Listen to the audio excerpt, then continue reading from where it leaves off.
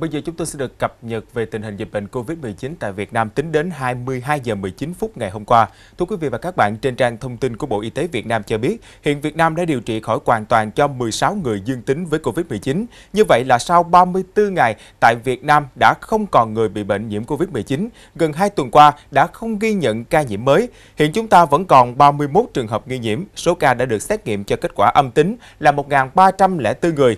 Hiện trên thế giới đã có 80.341 ca nhiễm, trong đó số ca ở Trung Quốc chiếm 77.660 ca và có thể thấy con số ca nhiễm bên ngoài Trung Quốc đã tăng lên 2.500 người. Số ca tử vong trên thế giới là 2.706 người, trong đó Trung Quốc chiếm là 2.663 người. Số ca bình phục ngày càng nhiều trên thế giới là 27.476, Trung Quốc chiếm 27.230 ca.